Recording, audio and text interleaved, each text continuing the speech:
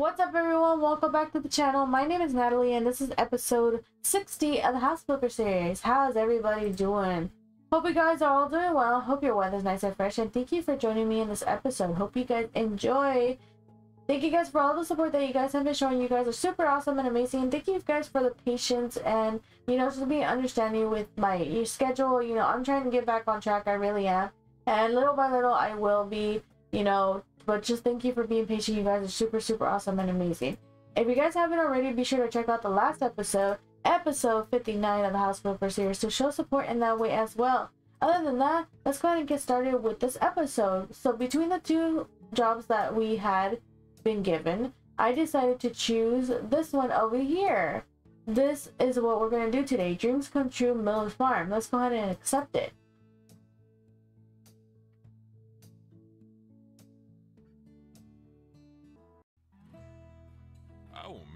City, that's for sure. And I hope Zoe won't either. In fact, she seemed to be looking forward to a change. I'm not afraid to get my hands dirty, so I already got started on the house. It will take a while, but I want to do it myself. But there are a whole lot of other things to do. A woodworking workshop, cow pens, and a swing. We expect nothing less than epic. It's the dreams come true Miller's Farm after all. Alright, and welcome to the Dreams Come True Miller's Farm job. This is going to be awesome. We are starting off with looking at a big, beautiful red barn. And it looks like, like we do have a few things that we need to do in the garden. It actually looks like, I need to stop saying that. It actually looks like we're never going to be working in the houses. So, I mean, that's kind of good because if we had to work outside and inside, that was going to be kind of like a little pain because it's going to be a lot to do. And you know i feel pressure into like just fixing up these things right away. But you know what? It's good that we're getting um just quick jobs just to learn and that we aren't trying to do a whole bunch at once because it's going to be a little bit overwhelming right now that we're learning new things so we have to place a fence and a gate clean up leaves and buy objects. So i think that i'm just going to go ahead and get started with a time lapse